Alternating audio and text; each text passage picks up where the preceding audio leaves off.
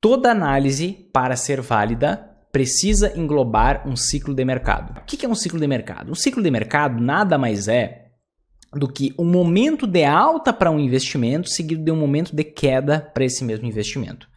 Quando eu faço uma análise enviesada, o que, eu estou fazendo? Eu pego só um período de alta e analiso esse período de alta e te digo, ó, esse investimento é um ótimo investimento porque olha só o que aconteceu entre 2005 e 2008, dane-se, eu preciso pegar um período de mercado completo. Se eu te mostro só a queda, eu quero denegrir esse investimento, eu vou dizer, poxa, olha como esse negócio desvalorizou. Eu preciso fazer análise de um ciclo de mercado completo. Um período de alta seguido de um período de queda.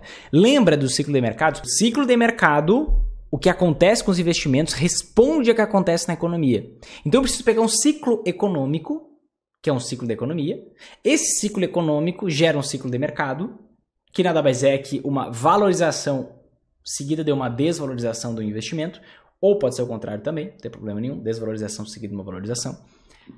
Aí eu consigo fazer uma análise decente, minimamente decente sobre o investimento. Por quê? Eu estou olhando a realidade. Eu não estou olhando esse investimento nos anos de ouro. Eu não estou olhando esse investimento no, nos anos de prejuízo, nos anos de queda, nos anos em que ele está indo mal. Eu estou olhando o cenário completo, o cenário global. Sempre que tentarem te enganar, vão fazer isso. Vão pegar só um trechinho e não vão pegar um, pegar um ciclo de mercado completo. Então, qual foi o último ciclo de mercado completo que a gente teve nos investimentos? E agora tratando especificamente das ações. Foi justamente entre 2003 e 2015. Porque a partir de 2015, a gente teve uma alta nas ações Teve uma correção e as ações subiram de volta e a gente está nesse momento aqui de estagnação, entende? A gente está nesse momento de, poxa, o que, que, vai acontecer a partir de agora?